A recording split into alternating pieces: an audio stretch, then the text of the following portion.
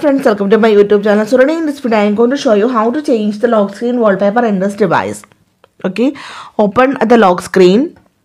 Now press and hold the lock screen. Now tap on the plus button on the bottom right tab. Now tap on the photos. So here also you can see some featured uh, wallpapers. You can see here. You can see the features. Then now suggested photos. Now you can see the weather and astronomy emoji wallpaper or you can see here. Now tap on the photo if you want to set a wallpaper from your device or you, uh, your photos application select the option photos. Tap on all on the top left side. So here you can see all the photos from your device and from here you can easily select the wallpaper.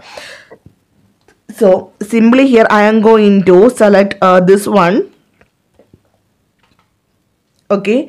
Now tap on the add button on the top right side. So if you want to add this as a wallpaper pair that means if you want to add this wallpaper for the lock screen and also the home screen select the option set as wallpaper pair. Okay. So simply in this way you can change the wallpaper lock screen wallpaper in this device. So let me show you on the lock screen. You can see this is the lock screen wallpaper so hope you guys enjoy this video. Thank you for watching. Thank you. Bye bye